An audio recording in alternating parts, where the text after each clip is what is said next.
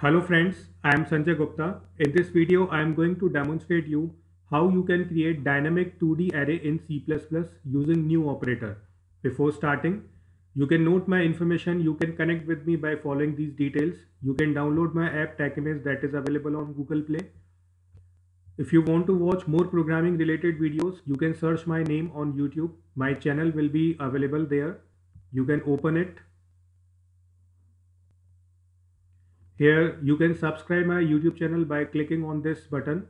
You can watch various programming related videos and playlists which are available here. Now coming on to the topic. Here I am going to implement a code which will demonstrate you how you can create dynamic 2D array in C++.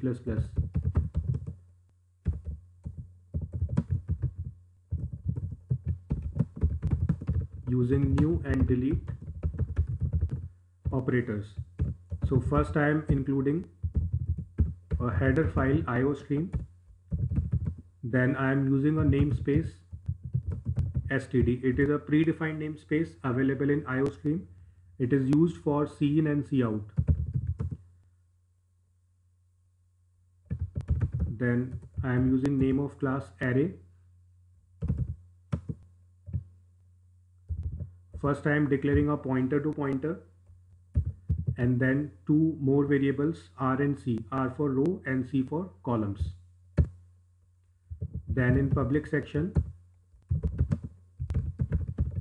I am declaring first function set size, second function destroy,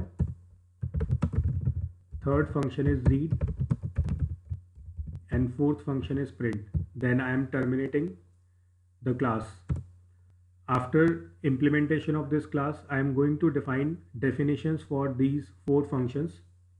So I am defining first function, void is return type here, then array is name of class, then set size is name of function.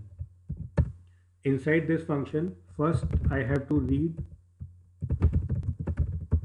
rows and columns value.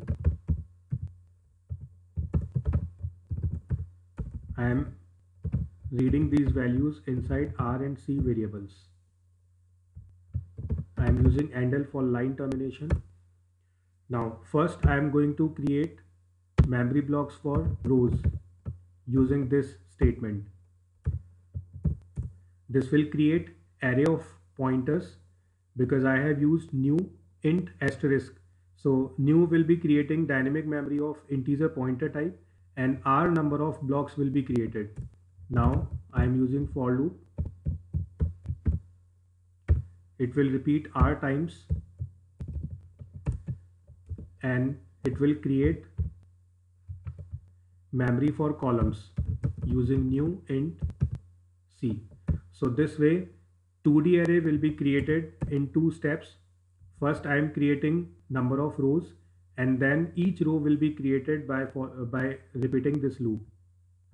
After creation of memory, I am implementing second function which is destroy. It will deallocate the allocated memory by new operator. So here I am implementing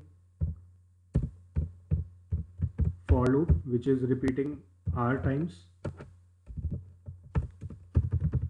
First it will delete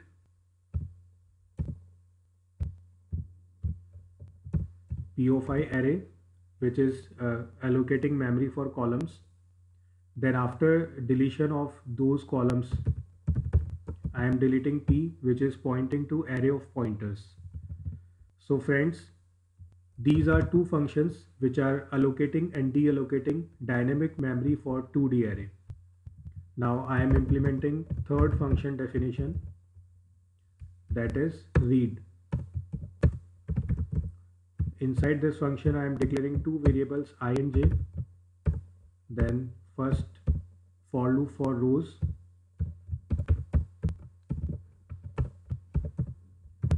Inside this second for loop is for columns.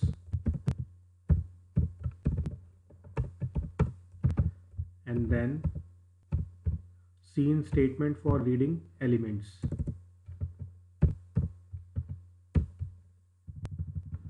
So this is read function which will read all the elements of 2D array.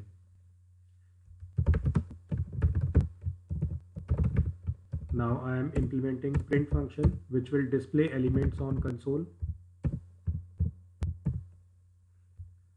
So I am copying these for loops and I have pasted here instead of cin I am using cout and for new line I am using endl because I want to print the elements in matrix format. Here I am using space so that uh, space will be printed between two elements. So friends this is the definition of print function. Now after these definitions I am implementing main method. Inside main method I am declaring an array object a1 then I am calling a1 dot set size then a message enter values. Then I am calling a1 dot read function. Then a message you have entered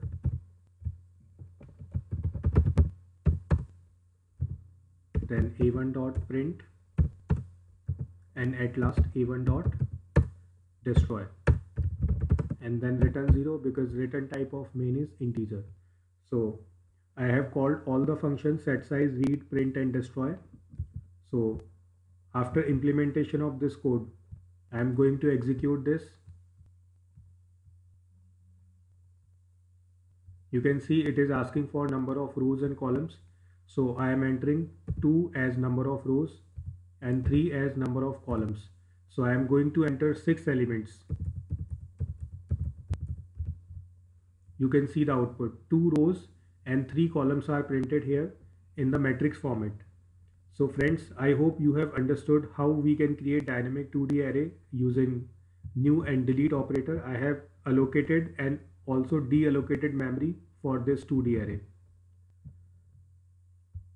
If you want to watch more programming related videos, you can visit my channel on YouTube by following my name. You can also subscribe it. Here various videos and playlists are available on various programming language related. Thank you for watching this video.